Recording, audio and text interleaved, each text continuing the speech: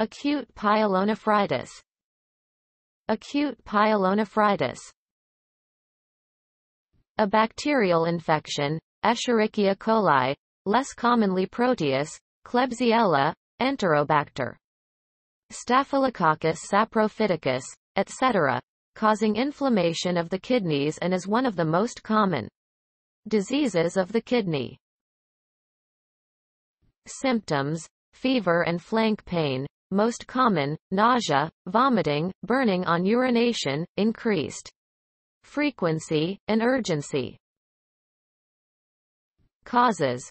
It occurs from their fecal flora from the lower urinary tract coming through bladder and kidney. Less commonly, it occurs in hematogenous spread which occurs in patients with ureteral obstructions or immunocompromised, and debilitated patients.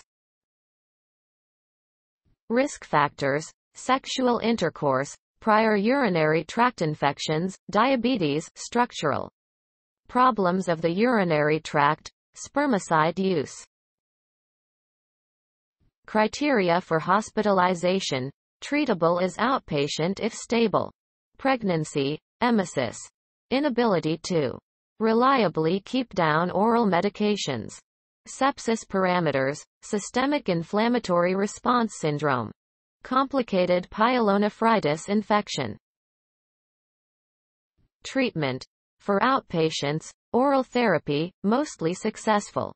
For inpatients, intravenous therapies. Medications. Fluoroquinolone, e.g. ciprofloxacin, levofloxacin, to Escherichia coli. Aminoglycoside, e.g. gentamicin, with or without ampicillin to fluoroquinolone resistant. Extended spectrum cephalosporin with or without an aminoglycoside. Complications, renal or perinephric abscess, emphysematous pyelonephritis, nephronia, focal. Bacterial nephritis, renal papillary necrosis.